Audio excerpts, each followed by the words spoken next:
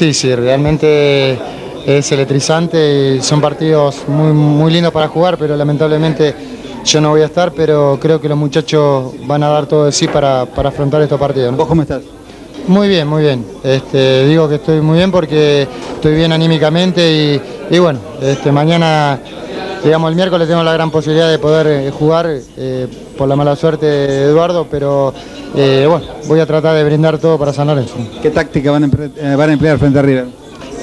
Yo creo que, que lo que hace San Lorenzo siempre, ¿no? Tratar de jugar, eh, juntarnos y, y, bueno, ir a buscar el partido desde el primer momento, ¿no? ¿Conversaron algo sobre si River puede estar algo disminuido, que viene de perder con Boca, perdió con Gimnasia? No, no, siempre eh, River San Lorenzo es un clásico, eh, se juegan partidos especiales donde a veces no importa cómo venga el, el equipo, ¿no?